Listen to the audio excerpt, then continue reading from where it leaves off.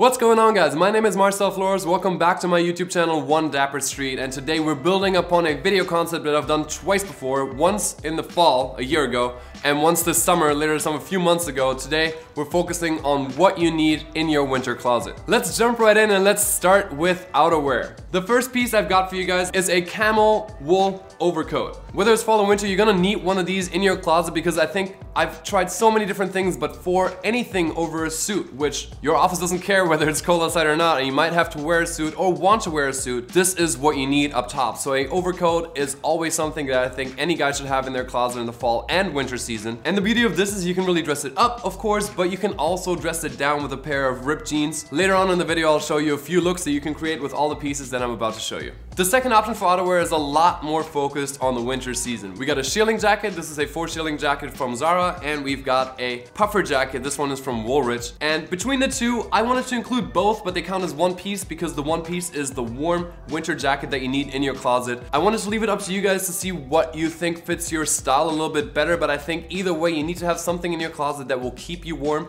that's more on the casual side of things. So everything that I'm showing you guys today is actually mostly brown and blue and a little bit of gray, so either one of these works for me and I'm gonna show you a few outfit options at the end of the video with both of these jackets. Let's talk about what you wear underneath those jackets, the first two that we just covered. One thing I think every guy needs in his winter closet is a cable knit sweater like the one I'm wearing right now. I love cable knit sweaters, they're very unique in the design, they're classy but casual, they're cozy and warm, and this one's actually from Target from the Goodfellow brand, which I have recently turned into a big fan of. There's plenty of affordable options out there, there's plenty of different fabrications, so you guys really have a, like a ton of options to choose one of these guys from. Next up, this replaces for me in many cases the dress shirt in the winter. Turtlenecks can be like this one fairly thin, so they fit really well underneath other things, including a suit. And it's a really warm and stylish option to switch out a dress shirt for a turtleneck. So this is basically what in the winter, in the deepest of winters when it's cold outside, what I wear with most suits. And speaking of shirts, I think a flannel shirt belongs into the winter closet as well. Once again, it's a lot about the warmth. The race fabric really does make a difference. They feel soft, they feel comfortable. Obviously, this is not something you would necessarily wear with a suit because they're too casual for that, but it's still a little bit more dressed up casual than say maybe just the sweater. So I wanted to include that as the third option for the top. Now, I have mentioned it a couple of times already. Of course, you still need a suit in your wardrobe. For me, it should definitely be a wool suit. So this is kind of like a rougher fabric, which is also a little bit more of a thick suit. This one is from Brooks Brothers and an anthracite gray. I personally love this because it combines really well with blue colors. It combines really well with natural tones and it would even combine well with blacks, which I don't have included in the video today at all. Gray is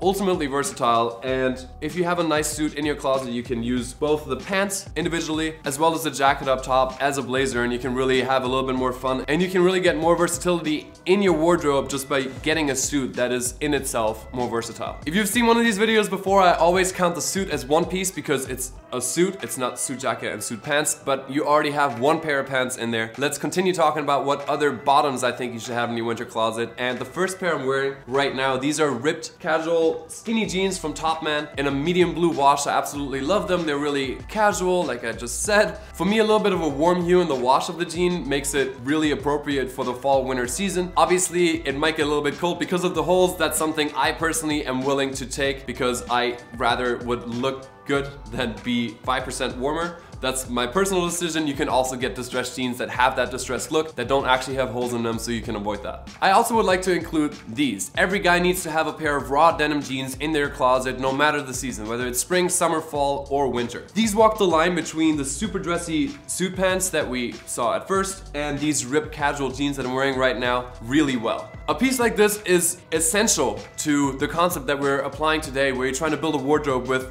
just 12 pieces because versatility is number one and these are for me the ultimately versatile bottoms. I just pointed out my boots so let's talk about them. In the winter you will find me 95% of the time wearing boots. Sometimes it's high top sneakers, but most of the time it will be boots. I think every guy should have in their closet at least two pairs of boots, one that's more suited for a more suited look. Pun wasn't intended, but I, I knew when I said it. Hmm.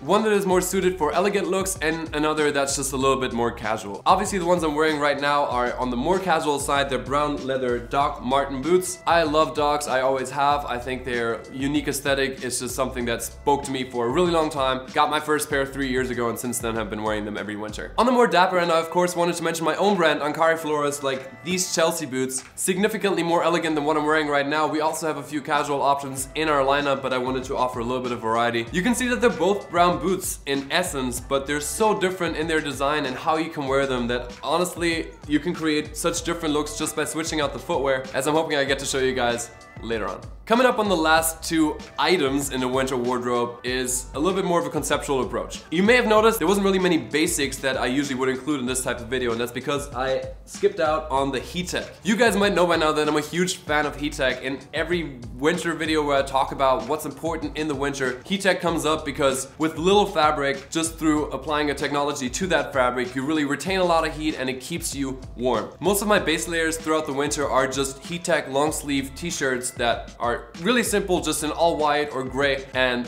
that's how I make sure that I stay warm. And that's what I would recommend to any and all of you guys. The last item, which is also a category, like Heattech was a category, is cold weather accessories. And that should go without saying. And I'm not saying most guys out there don't already wear a scarf or a beanie or gloves. What I want to point out is that I think a lot of guys are missing out on the opportunity of actually making that an integral part of your outfit, making it something that doesn't just keep you warm, but actively enhances your outfit. The one thing that I do want to point out with that too is that you don't have to match it. I feel like sometimes guys, myself included in the past, I'm like, okay, I need like a navy beanie with a navy scarf and navy gloves or something like that. I think if you find pieces that are complementary, like brown leather gloves and then a cashmere beanie. It's like a little bit of an earth tone that works really well together. I'm gonna put this on. Looks weird without the jacket, but for right now, just I'm, I'm trying to make a point. And that is, you can even have a little bit of fun with a scarf like this one, a yellow knit scarf, where you'd be like, okay, that's kind of like a big statement to have as your one go-to scarf, but you're kind of tying it in because yellow is more of an earth color. Or if that's too much for you, just go for a more simple option. But once again, it's not perfectly matched. It's just in the vicinity. Like I said before, gray is a really versatile color, so that would be another option if you wanted to go for that one perfect scarf that you're gonna be wearing all winter long. And with that, let's look at a few of the outfits that I can come up with using those 12 pieces slash two categories that I snuck in there. I hope you guys enjoy.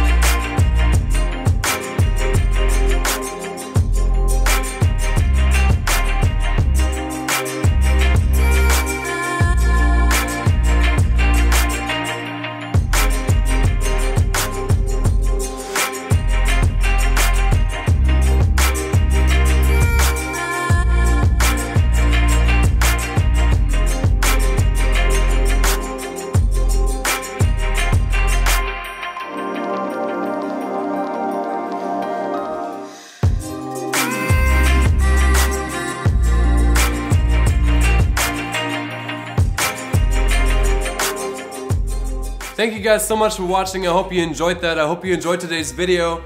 Winter is officially about to begin on the calendar, so I'm hoping that if you don't already have all the pieces in your wardrobe, that this video inspired whatever last purchases you need to make to stay warm and stylish this winter. Thank you guys so much for watching. If you liked it, make sure to give it a thumbs up, leave a comment down below, let me know your thoughts, questions, concerns, and of course, if you're not subscribed yet, make sure to change that so you don't miss out on any of the videos coming up. One more time, thank you guys so much, happy holidays, and I'll see you very soon with the next one. Stay dapper. Always do without...